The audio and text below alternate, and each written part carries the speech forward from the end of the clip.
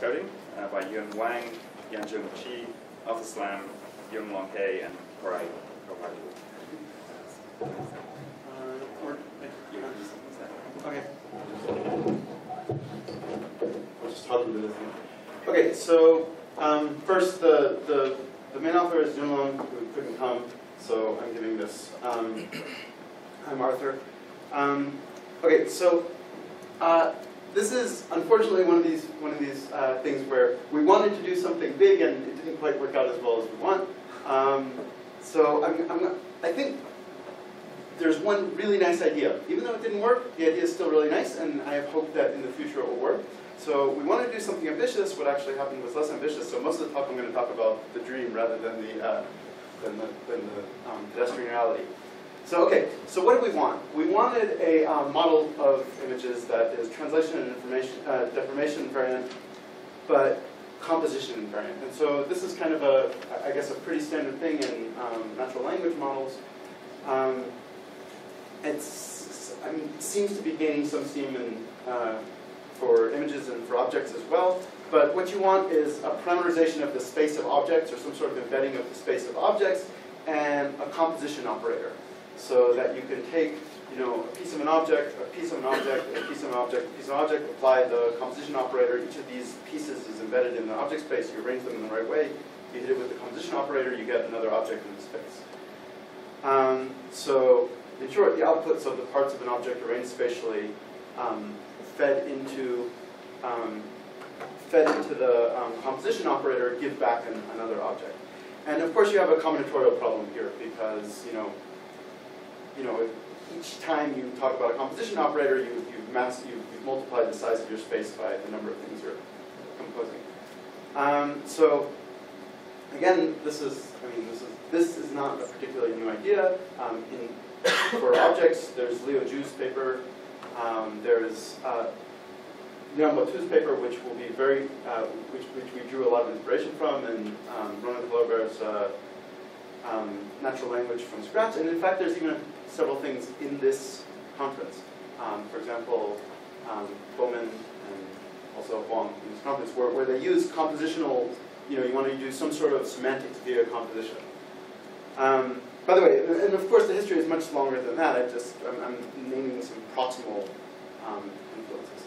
Okay, so, so what are we talking about composition? We were, we're talking about the, uh, you know, if, if we're going to talk about images, we have a 2D grid, and we uh, assume that we have some sort of object space, which we'll call O. So because we're used to it, we'll map O and RD. And what we're going to want is an embedding of all objects into RD. That's O. O has the entire space of all the objects. And you have a mapping from uh, O to the 4 or O to the 9, depending on how your grid is arranged, or some other um, product of O um, back into O. And again, mapping from a product of the space back into the space is a concatenation operator. Um, and the way we think about it is you have a dimension reduction on each of the, say, four pieces. Let's call it G, and then you reconcatenate. Or if you want a slightly more powerful model, you have you concatenate first, and then you um, follow with the dimension reduction. So schematically, it looks like this. You have a, hmm, I can't, is there, is there a pointer?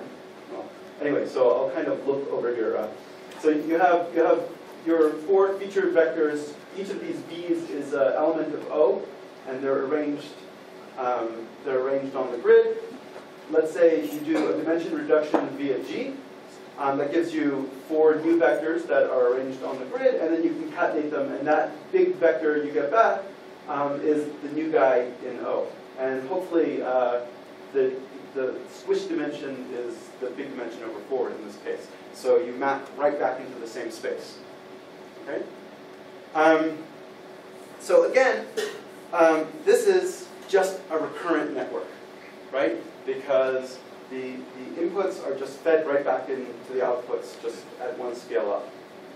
Um, another way of saying it, and we'll talk maybe a little bit more about this in, in a couple of slides, is that uh, you think of pooling as a trainable dimension reduction. So it's not entirely obvious from this. It, it is there, but it's really messy. When, when we talk about the way we actually build a model uh, in a few slides, then it'll be more clear. But you can think of pooling as a trainable dimension reduction. and the point of the pooling is to, you know, staunch the combinatorial explosion. Um, again, what we have is a spatially recurrent low-rank convnet. Um, so this now we're getting to the one idea, which I think is a new idea and is actually pretty interesting.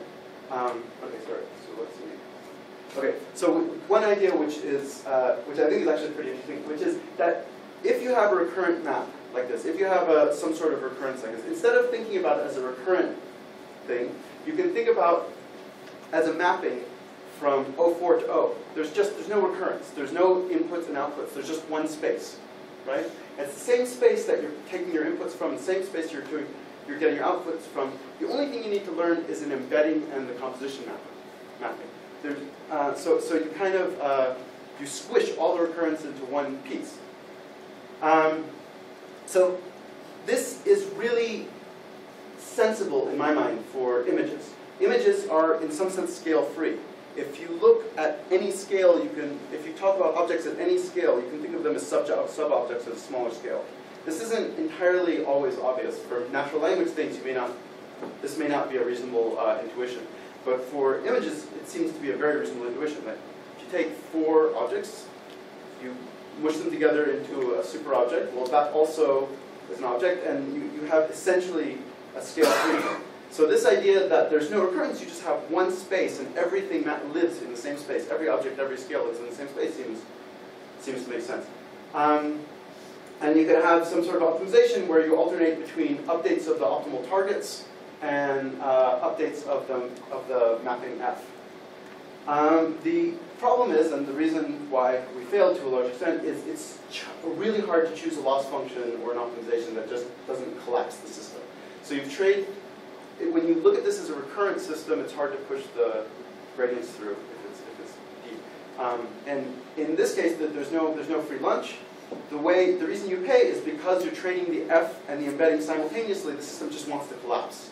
It's really happy to just, uh, to just um, collapse off. And so the key is training the dimension reduction and finding the correct contrastive term. Um, and what you find when you try and play this game is that kind of standard graph-based uh, dimension reduction techniques, even kind of unconstrained ones like you know Laplacian eigenmaps and LLE, have a way too weak contrastive term. So what does uh, Laplacian eigenmaps or LLE do? Roughly they say you take a point, its neighbors need to stay its neighbors in the embedding space. Um, well, the simplest way to make neighbors stay the neighbors is to map everything to zero. How do you make things not map to zero? You force the coordinates to be orthogonal. That's actually a very, very weak uh, contrastive term. Um, and what you see if you try and play this game is that very different objects get sent to the same location in the system. Um, and actually, this is true in a lot of things. In text, you can use the predict the middle patch trick if you want to kind of get feature vectors. In other words, your game, you, you try and say, if my, if my features are uh, this one, this one, this one, this one in uh, object space, I, I can try and have a, uh, a loss function that pays when I can't predict the middle patch. The problem is with image patches, and even at, at kind of higher levels of things, uh, in images, it's too easy because you have smoothness. Predicting the center patch, you just you just assume things are smooth, and you can really easily predict the center patch, and so again, you get a collapse. Um, okay, so let me briefly talk about what we actually did, which was significantly uh, less ambitious. Um, so we didn't go straight from patches, which we really wanted to do. We used SIFT vectors as input. Um, the middle layers are uh, compositional um, and trained unsupervised uh, in the way that we wanted to. Um, and essentially you get a variation on a SIFT sparse coding pyramid match, uh, pyramid pool scheme. Um, what was the dimension reduction? So again, this is the key thing. We used um, essentially uh, DrLIM, and you had to very carefully engineer what are the positive um, things that are supposed to be close together and what are the things that are supposed to be far apart. Um, so again, always when you look at things in this way, the hard part is to make things not, uh, if, if, you, if you use a really strong contrastive term, it's very hard to train. And this is always true. If you, contrastive term means keeping um, far away things far away. If you have a reasonably weak uh, contrastive term, it's easier to train, but the thing collapses. Um, and so here, the, the way we did it is you say you have your neighbor, um, you, you have your original, you look in original space and you find your neighbors, um, and you say, okay, my first neighbors, we'll, we'll try and keep them close. The second neighbors, not necessarily the number two, but some carefully engineered number of neighbors away, we'll make sure those are far away. And again, there's, there's some unpleasant engineering there, but you can get something that, that roughly works. Um, and so for the total mapping F, it's parameterized as uh, sparse coding to get a very high dimensional vector, and then a linear dimension reduction that's uh, trained with the DrLIM loss um, to get the object space. And what this, this really looks like a low, low-rank convolutional net. If you use a LISTA type encoder for the sparse coding, this is precisely a low-rank convolutional net. You have uh, a bunch of feature maps that map you into very high dimensional space, and then you have uh, a, a low dimensional um, linear embedding. So it's just um, filter, some nonlinearity, filter nonlinearity, and then a filter bank that's uh, very, very tight in feature size.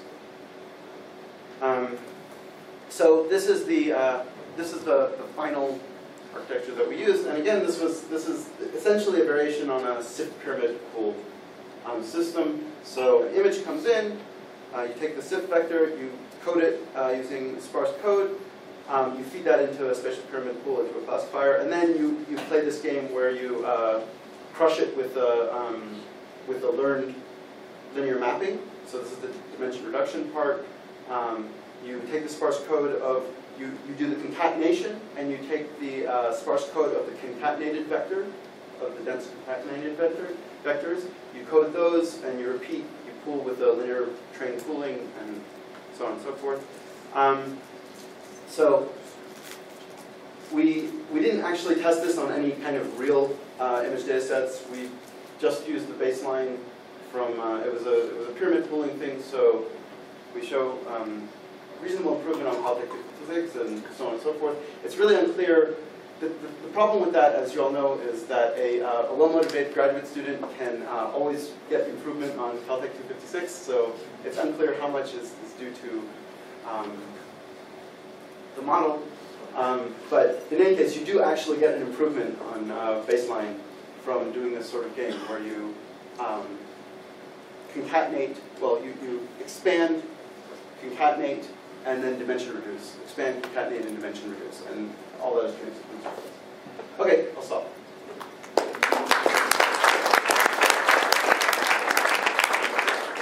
So you don't search for which parts go together. No, that's the, the whole idea is that the machine should figure this out itself. So the whole idea is to make a parts model that is, uh, I mean, exactly in the natural language thing. The, the, uh, the concatenation um, operator and the embedding together tell you which parts go with which objects. So again, I'm, I'm saying this, you know, in the, in the dream world, this is what should happen. Whether it actually happens or not, and the way we've trained it, it's, it's not clear. So I have a question about the training. Do you train by or is it joint? So here it's, I think it was, I think it was, I think it was one, uh, yeah, exactly. So it was trained in the way that we wanted to train it, but just not from the top. Questions? Okay, well, let's thank Arthur again. Okay,